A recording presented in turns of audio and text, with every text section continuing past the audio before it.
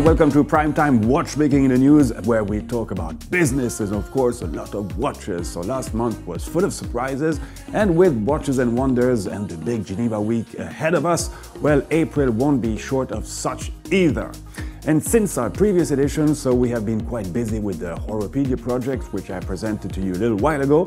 So if you're interested in uh, what's happening there, well, please uh, visit the website horopedia.org for more information as we updated it with uh, some fresh walkthrough videos on watchmaking museums from Switzerland and France, as well some, uh, some uh, visual definition of some watchmaking tools. So we also launched our Watch Waking podcast, where we discuss the latest trends, news, and tendencies of the industry with watchmakers and experts. It's kind of an audio extension of prime time, and it will give you a, a 360 degree view of the entire horological ecosystem. And now onto the business news and market developments. So on March the 10th, Switzerland, along with Norway, Iceland, and Liechtenstein, signed a free trade pact with India, which will receive 100 billion US dollars in investments over the next 15 years in exchange of a significant reduction of import taxes for a list of goods, including, of course, watches. So for the EFTA countries, this means a 15-year almost unlimited access to the Indian fast-growing market in pharmaceutical, new technologies, and luxury.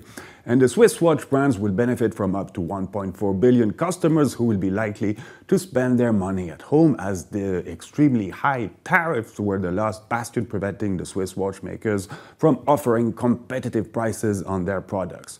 Nonetheless, a lot needs to be done in terms of distribution and retail solutions, but since all five signatories must first ratify the agreement between EFTA countries and India before it can come into effect, probably not before 2025, well, this gives a little bit of time for brands to think about their expansion on this uh, strategic growth territory.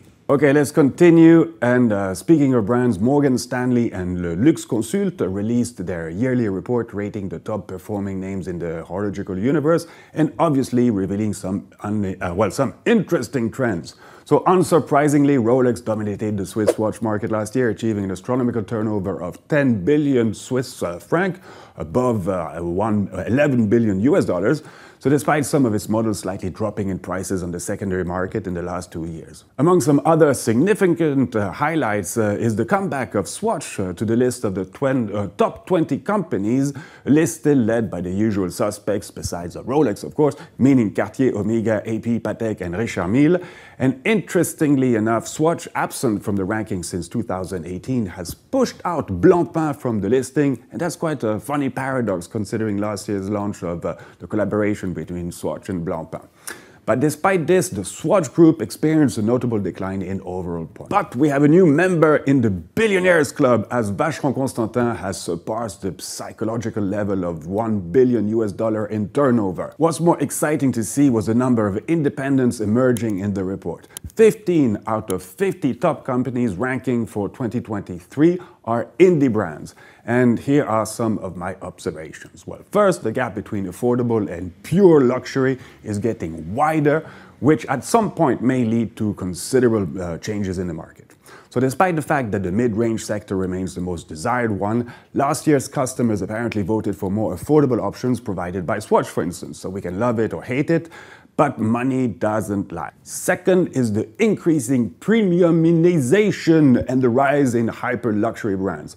So if you check the list, Richard Mille being on the fifth place in turnovers sold only 5,600 uh, timepieces, well, it's already quite a lot, which means that the average price per piece was over 312 thousand US dollars. I mean, that's quite impressive. Some brands from the list uh, have also picked uh, tactics of raising the prices while limiting the production or discontinuing some of the models which instantly created a hype around them. And the third observation is that there's an ever growing passion for sports and remastered vintage model, which means that we will see more of such in the near future, something naturally already witnessed over the last few years. Returning to Swatch and its marketing triumphs, the 11 Moon Swatch suitcases mentioned in the last prime time were auctioned at Sotheby's for 600,000 US dollars, and all proceeds will benefit the Orbis Foundation, with whom Swatch has collaborated since 2011. So one might consider this as a significant sum for a collection of timepieces with a slightly similar appearance, but there was a noble cause behind the purchase. So additionally, uh, collectors understand the alluring of acquiring something rare, desirable and potentially unique. And now we have uh, we are having another hype with a special Snoopy edition of the Moon Swatch to celebrate the second anniversary of the collaboration between Swatch and Omega. So the new model has a moon phase, which is something truly innovative for these watches, and a luminous dials. With this release, I wouldn't be surprised to see Swatch climbing several positions in the next Morgan Stanley rankings in 2025. Actually, in 2024, because we're still in 2024. And this might be an interesting development for the Swatch Group, which seems to be uh, targeted towards delisting from the stock market, something that's been, already been discussed for quite a while. And some experts consider Nick Hayek that, he, that he's like intentionally downgrading the prices of the group's share to get a better price for himself and make it 100% family business. But there's definitely something cooking in this group of uh, in this uh, house of cards of watchmaking as the Swatch Group plans to convene its next ordinary general meeting of shareholders on the 8th of May 2024 with one of the goals to elect Nick Hayek's nephew Marc Hayek as a new member of the board of directors. So Marc Hayek has served as a member of the management board since 2005 and currently holds the position of CEO at Blancpain. And well, what a surprise. I mean, the current uh, board of uh, director of Swatch Group already unanimously supported this nomination. Okay, another interesting rumor has emerged from the Val de Travers as the Sandoz family, renowned for its uh, pharmaceutical business under the Novartis brand, uh, well, is reportedly preparing to sell two of its uh, watch assets, the Parmig uh, Parmigiani Fleurier brand, but also the Parmigiani Group, which regroups different manufacturing entities. So according to Ms. Tweed, who first broke the news, both will soon be on the market, and last year Parmigiani, the brand, saw a remarkable 50% increase in sales, reaching 75 uh, million US uh, dollars, as reported by the Morgan Stanley report. So although the Sandoz uh, Foundation has declined to comment on this scoop, and the news is yet to be officially confirmed, however, it uh, sparked widespread speculation on who might be the potential owner of the package deal. So the Sandoz Family Foundation initiated the development of the Parmigiani Fleurier Group in 1996, and today it comprises five artisanal companies primarily focused on the brand Parmigiani Fleurier, but also serving other high-end watchmakers. Quadrance and Habillage produces dials, Les Artisans Boîtiers uh, manufacture cases, Vaucher manufactures specializes in movement, while Atokalpa and uh, Elwin are responsible for various watch components, mainly movement parts, including regulating organs. So yes, quite a powerful mix of competencies there, and acquiring all these companies all together seems the most logical step with LVMH emerging as a potential suitor. But one must remember that Hermes is already a minority shareholder of Vaucher, and uh, I might have, it might have some kind of first right of refusal. I don't know about that, but who knows? Okay, so however, I mean, it's better to wait for an official announcement or statement from the Sandoz family before speculating any further. Okay, next topic, and while we often uh, cover uh, watch sales from the largest auction houses, an upcoming uh, event promises to be truly exceptional. As on April the 11th, amidst uh, Watches and Wonder, Sotheby's will host a groundbreaking auction titled Rough Diamonds. Set in an underground wine cellar here in Geneva, this online auction features treasures dating from the 70s uh, through to the 90s. Uh, such an unconventional event is a result of the collaboration between Sotheby's and Heist Out, a self-proclaimed outcast watch magazine launched a year ago. One-of-a-kind underground watch auction offers uh, 24 exceptional vintage models from AP, Patek, Vacheron, Jaeger, and Piaget, among others, and each timepiece offers a blend of unique design, rare technical innovation, notable uh, provenance, or historical significance. So the preview will be held at La Corne à Vin, a wine bar in Geneva, from April uh, the 8th to the 10th uh, in the evenings only. So you can find the details below if you want to attend, if you are in Geneva at that period. Another big auction house is changing its location this spring, bringing an end to uh, the era of fierce bidding inside the tent of La Réserve in Geneva. So from May onwards, Phillips, in association with Bacs and Russo, is moving from one luxury place to another and will be holding its auctions at the President Wilson Hotel. So facing the Geneva Lake, this five-star hotel is well known in Geneva as a place for different international negotiations and flamboyant evening events, and the access to the venue will be in some way easier for the participants. However, it might lack a bit of privacy. So this landmark move is related to the house's 10th anniversary and signifies a moment of growth and evolution for Phillips. Uh, since its uh, inaugural auction in May 2015, Phillips Watches has garnered an unparalleled market leading total of 1.3 billion US dollars in global watch auctions, underscoring its enduring impact on the industry. So we're looking forward to checking out the new exhibition space on the pool of the terrace of the President Wilson, as well as the new timepieces prepared for the watch auction number 19 taking place on the 11th and 12th of May, followed by the Geneva Jewel auction number 2 on the 13th. And let's not forget Christie's and their sales coming in May. This time, the auction house has the privilege of presenting several timepieces from the private collection of none other than Michael Schumacher, celebrating the 30th anniversary of his first Formula One Drivers' Championship win in 1994. So the Rare Watches auction is set uh, for May the 13th at the Four Seasons Hotel uh, here in Geneva and will include a section uh, dedicated to this group of watches highlighting key moments in Schumacher, Schumacher's uh, career. Among the lots will be the Royal Oak chronograph uh, featuring Ferrari's famous uh, prancing horse emblem on the dial at 6 o'clock. The numeral 1 in the uh, 30 minute register dial at 3 o'clock is surrounded by six stars representing Michael Schumacher's six uh, World Championship victories between 1994 and 2003, uh, while in the 12 hour register at 9 o'clock has a picture of Schumacher's red racing helmet and can be considered as a unique timepiece. Another watch from the collection is a unique FP Journe Vagabondage 1 model featuring a red dial and an engraved uh, personal gift dedication on the 18th uh, karat gold movement. The red Ferrari dial bears symbols representing Michael Schumacher's seven Formula One World Championship uh, victories achieved by 2004 and includes Schumacher uh, racing helmet together with the emblem of the Scuderia. Well, both uh, timepieces are exceptional not only for their feature, but of course for the provenance and are highly recommended to check in person in May in Geneva if you're here again. And to close uh, the auction section of this prime time, just wanted to add that Only Watch is trying to make a comeback also for the May auction, but nothing yet confirmed. It will most certainly not be the same as uh, what was perhaps initially planned, and it seems some brands have sold their timepieces in the meantime, some not really willing to be associated with the event either. Well, quite a few question marks, uh, and as we already discussed, once the trust element is gone, I mean, it's quite difficult to repatch things together.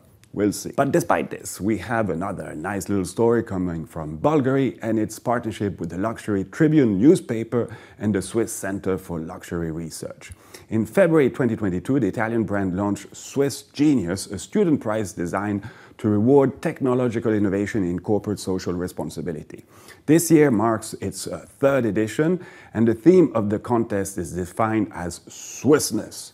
So according to Antoine Pin, Bulgari Watch Division Director, the term uh, represents a state of mind of, of, consensus, shared value, and a common vision that prevails here in Switzerland. So the prize is open to, to students from various Swiss uh, universities and higher education institutions, and the year-long selection process began in March, comprising uh, two selection rounds and the award ceremony is scheduled for the 3rd of July 2025. I think this is quite a clever idea to integrate young people into real life problems and invite them to propose their effective solution to the sustainability challenges that the new generation uh, brands are facing. And to almost finish the business part, well, here's a short story from Japan where at least 900 luxury watches have disappeared almost in the blink of an eye. So the simple uh, uh, scheme uh, worth more than 12.5 million US dollars was developed and then implemented by the 42-year-old genius Takazumi Fukuhara and his company Neo Reverso. So he created a platform for renting luxury timepieces called Toke Match. And the idea was to let watch owners rent their exquisite timepieces to those who can't afford or do not want to buy an expensive uh, watch. So the owner then benefited from a monthly rental fee, and however, the temptation was there, and the owner of Neo Reverso failed to resist it. So, according to the Japanese uh, media, instead of renting the watches, Mr. Fukuhara was putting them on sale at different auctions and second-hand stores, amassing in total this $12 million. So, uh, late last year, Neo Reverso had also advertised for luxury watches for the service, but was apparently having uh, watches appraised for resale purposes at the same time.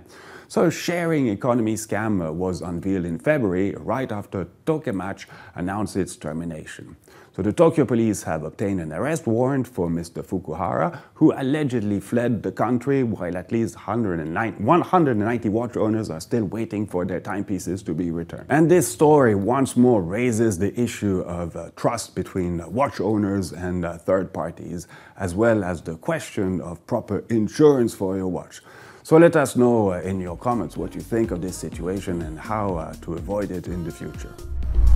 And as a transition between business news and new watches, I will now talk about Audemars Piguet, as I was very kindly invited by the brand to attend what they called their yearly AP Social Club, which this year took place in Milan. So one might think the choice of the Italian city was a way to mark the Italian origin of the brand's uh, new CEO, Mrs. Uh, Ilaria Resta, but actually it had more to do uh, with the presentation of their new AP house, which took three years in the making, and I must say it is super spectacular. It's their biggest AP house ever, more than 1,600 square meters, divided into multiple floors with some beautiful terraces offering really nice views of the city and located right in the middle of Milan's fancy district. It is housed in an old garage, and funny enough, it dominates the Louis Vuitton store, though one could legitimately think that LVMH could have some kind of appetite for the brand of Le Brassus. Well, I must say this amused me a bit, but we were mainly there to see some of the new pieces AP will launch this year, and there were some really sexy ones. First of all, I have to admit that the Code 1159 is evolving quite nicely, and we got to see models with some really pretty colored guilloche dials either as a simple three-handers or chronograph version.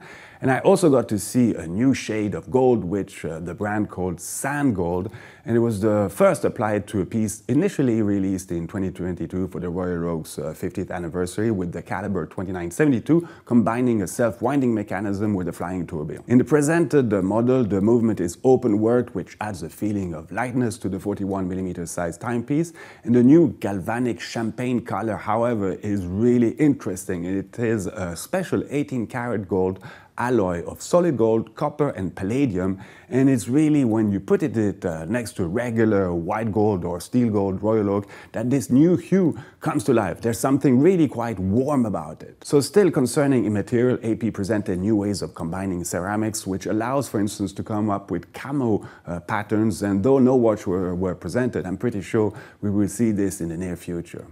I also got to see in real the Royal Oak concept Flying Tourbillon Tamara Ralph limited edition piece, and I know we already talked about in a previous edition of Primetime, but yep, in real this piece is quite something. I mean, really spectacular. I love the optical effect of these concentric circles right down to the tourbillon itself. Sweet.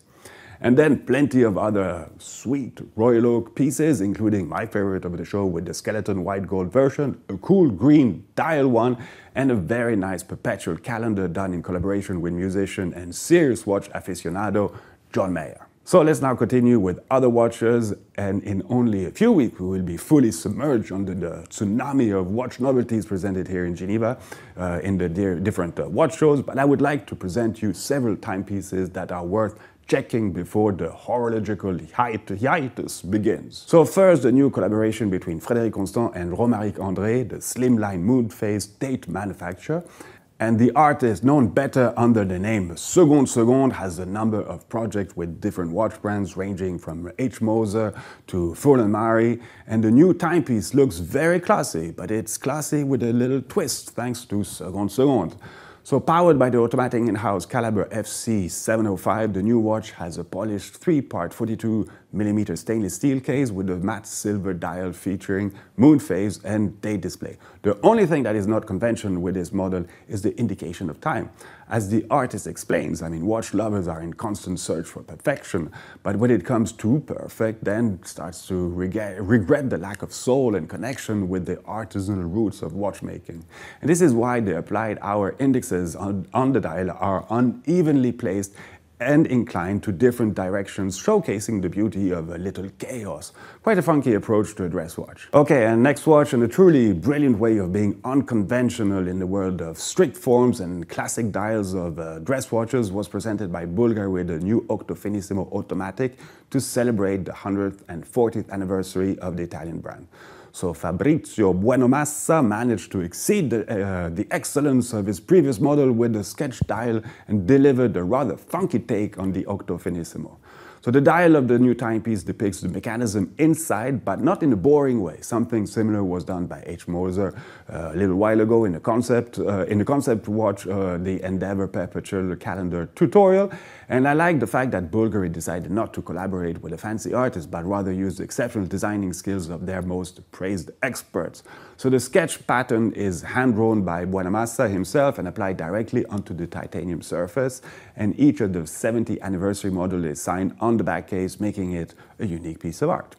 And talking about indexes, well, these were completely absent from H. Moser Company's new timepiece, as on February the 21st, the brand released yet another model for 2024, the Streamliner Perpetual Calendar Concept Smoked Salmon, a new and minimalist variation of the 42.3mm steel Streamliner Perpetual Calendar, previously introduced in August 2021. So the only elements you will find on the signature Fume dial referred to as smoked salmon are four central uh, uh, hands for hours, minutes, seconds, and month, and a power reserve indicator at 10 o'clock and an aperture at 4 o'clock showcasing the date. With this new release, H. Moser once again performs a true simplification exercise, erasing the indexes and the logo previously uh, discreetly engraved in the, the, sapphire glass. So your eyes simply enjoy the luminous and ever-changing smoked colors of the dial with the date aperture.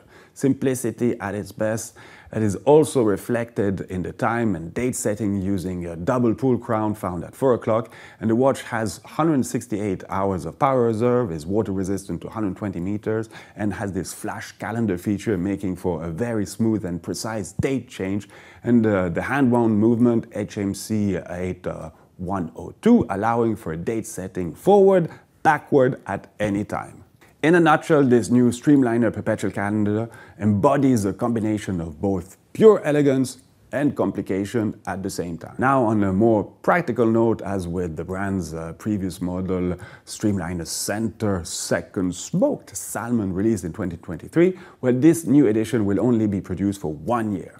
So if a new perpetual calendar was on your radar to add to your collection, this watch just under 57,000 uh, US dollar just might be your chance. The next timepiece is an impeccable balance of technical innovation and finishing, which uh, represents the essence of Swiss high-quality watchmaking. And I'm delighted to present to you not only the new watch, but a new brand created by two of uh, my dear friends who I had the pleasure to interview several times.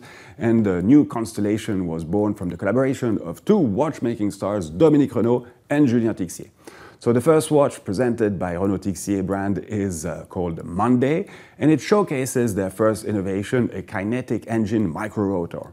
The idea that pushes the boundaries of micromechanics came from a thorough research made by Dominique Renaud in the area of energy to enhance winding efficiency of a watch. He managed to improve the micro rotor by installing its center, in its center, the auxiliary mechanism. So the latter optimizes the use of energy released by the rotor and harnesses even the slightest joule to power the watch. This central engine of the micro rotor is visible through the aperture at 9 o'clock and on the back the view is just sublime. The watch measures a full 40.8 millimeter and thanks to the Dancer micro rotor has 40, uh, 60 hours of uh, power reserve. Energy is the first out of seven uh, fundamental watchmaking principles Renaud Tixier, Renaud Tixier aims to revisit, and I would love to see the rest of the days of this week of innovation, and I know we will. Okay, next topic, and it will be a little bit of an exaggeration, but one must admit that La Fabrique du Temps of Louis Vuitton might have stolen the show from Watches and Wonder already. I mean, just weeks before the, the, the biggest horological festival of the world, the uh, watchmaking uh, magicians from this manufacturer have made several fantastic releases, not only in their aesthetic features, but in technology used. So the Louis Vuitton Voyager Flying Tourbillon Poinçon de Genève Plique à Jour has an outstanding design with a marvel as a movement. The dial of the watch looks uh, like a vitrail or a stained glass. However, it's a meticulous blue plique à jour enamel. So the skeletonized uh, case uh, displays a V tourbillon cage at 6 o'clock, fully rotating in one minute, adding to the precision of the in-house LV104 caliber.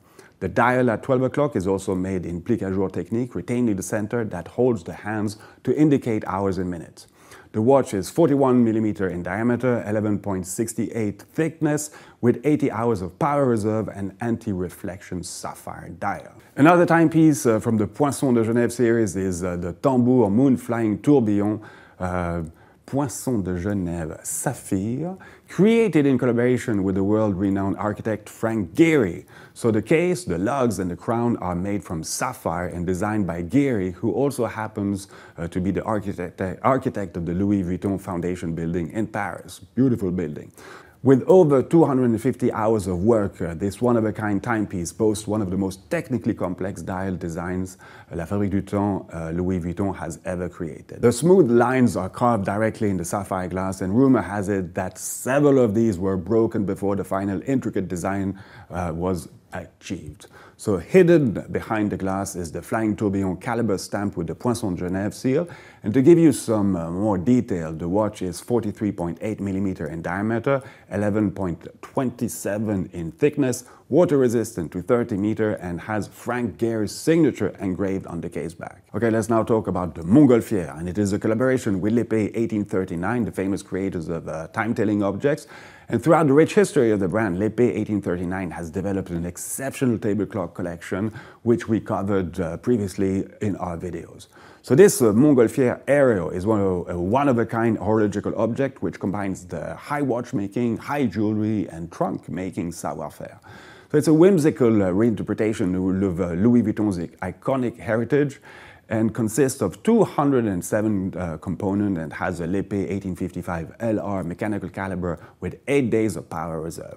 The balloon is made from a copper beryllium alloy and Macassar wood, which is rather difficult to work with due to its high density. For its decoration, LV used 1,420 round diamonds for uh, roughly 55.8 uh, carats, one briolette cut citrine for 9 carats, and one square cut citrine. I mean, all packed in the signature LV case that the brand normally uses transfer, to transfer World Cups and other exceptional prizes. And the coolest thing is that it can be suspended in the air and hang from the ceiling, transforming into some kind of real flying object.